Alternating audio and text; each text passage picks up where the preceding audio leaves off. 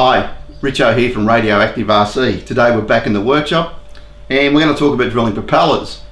Now, there's a few ways of drilling propellers. I'm going to show you the method I like and the way I've learned to do them and I found to be the best. Now, a lot of people are frightened about drilling propellers. It's not a really scary job, but there's a couple of tools that you need to make the job a little easier and for me, an essential part of that is a pedestal drill. Now, one of these items now isn't very expensive nowadays and every good workshop should have one. But if you don't have one, go to your local hardware store, they're not that dear, borrow your buddies uh, or use his. But you can do it with a hand drill, but I don't recommend it at all. I've seen guys do it, I've had to do it myself when I've been stuck in faraway places without one, and the results are very mediocre, if not appalling. Now, a pedestal drill will always drill straight, and if you do it correctly, you won't have a problem. The second part in the equation is a drill jig. Now here we have a drill jig here, which has 12 holes in it. This one suits two size motors, 100 size motors, which includes 120s and 85s. And the outer holes here are for 150 size motors. Now these are all 5, 5 mil drill bolt size and supplied with a 5.2 millimeter drill bit. Now the 5.2 millimeter drill bit gives you enough clearance to get the bolts through and any slight intolerances that you create, uh, it makes up for that. So you don't really want any bigger than that. Uh, five, if you do use a 5 mil one, it's going to be reasonably tight and it's difficult to get the last bolt in. So 5.2 makes it a little easier. Uh, the other thing I use are two little drill pegs. These are made from uh, old drill bits which are broken off and just shortened up. And you'll see how these are used as I go through the process and doing it. Now, my preferred method for drilling is to drill from both sides of the propeller. I start from the rear. Know, no matter what you do or what method you use, always start from the rear. When you put the drill jig in and you start the drilling process, all the holes are going to be the closest match to the prop hub. The problem is, if you drill from one side continuously, is the drill bit itself can track off. And you won't notice this. So my preferred method is to drill halfway through, flip it over, finish from the other side, clean hole all the way through. Now I'll show you how we do this uh, with the drill stand and we'll talk you through it. The other thing you want to have on your drill stand, if you can remember, is a nice flat surface, something nice and clean, so when the drill bit actually breaks through, it doesn't splinter the carbon or the timber at the end, you get a nice clean finish on the back of the hub. Now, let's get started. I'll show you how I do it and I'll talk you through it. All right, here we have a, a prop that's already been pre-drilled. Now, I like to set my propellers up so that they come on compression about one o'clock 12.30 if you, if you imagine the front of your engine like a clock face.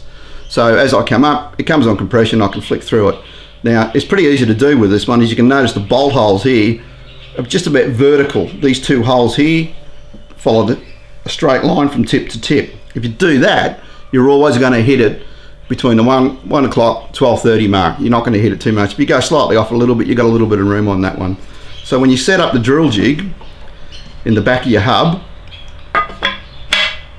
we're using the inner holes here because I'm drilling this for a DA120.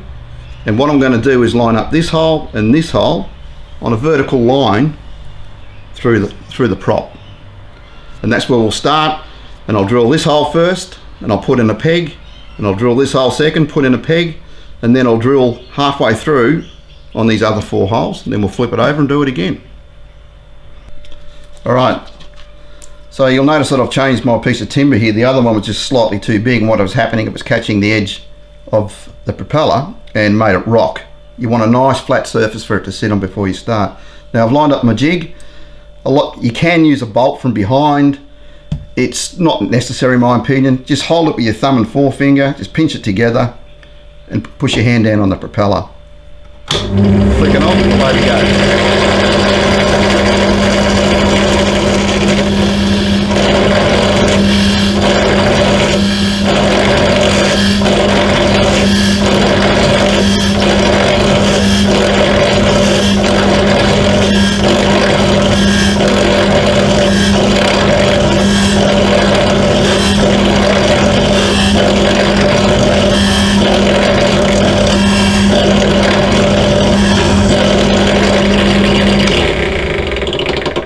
You'll notice that I'm going in and back out quite often on this. The whole idea of that is so that the flutes and the drill bit don't get blocked up with chunks of carbon and epoxy or timber or whatever the case is.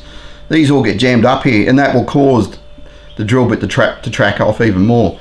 So just go in little bits at a time, let the drill do the work, don't force it and come back out again.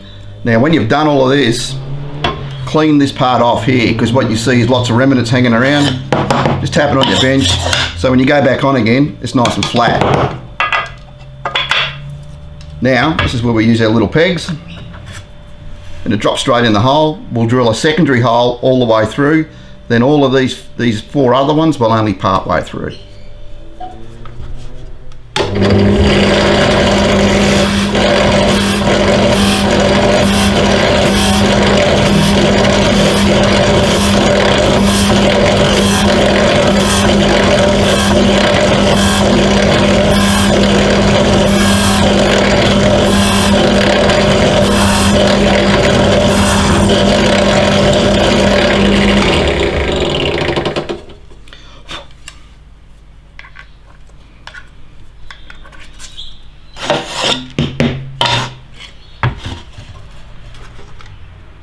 Now we can drill the other four.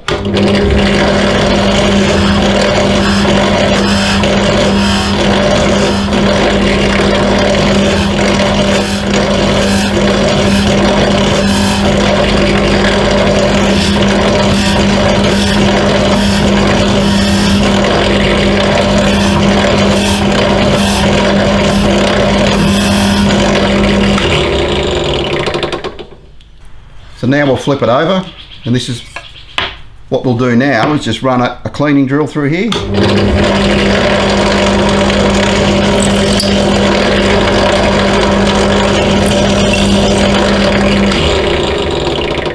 We only did that just to make sure the hole's nice and clean on the edges here. Now put the drill jig back in place, your pegs back in,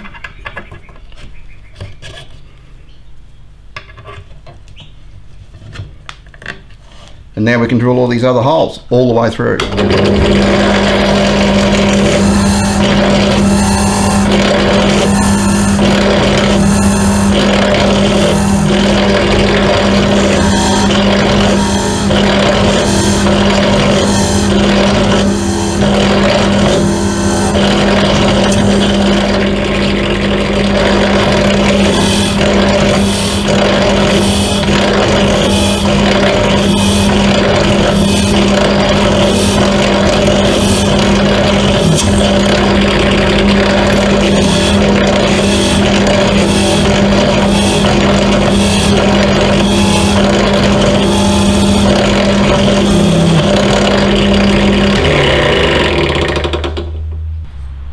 There we have it all drilled, all nice and neat.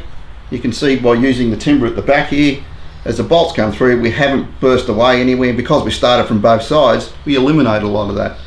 The bolts are nice, will, get, will drop through nice and cleanly now and line up with your prop hub. Now I like to clean these off just a little bit, you don't need to do this, is just something I like to do, is to just get a bigger drill bit in your hand, just lightly turn it and just take off the edges. So you get no dags and no burrs hanging around, nothing's going to catch your hand and essentially that's it. It's not a really difficult job. It's one that's quite I quite enjoy doing, and it's an easy skill to master.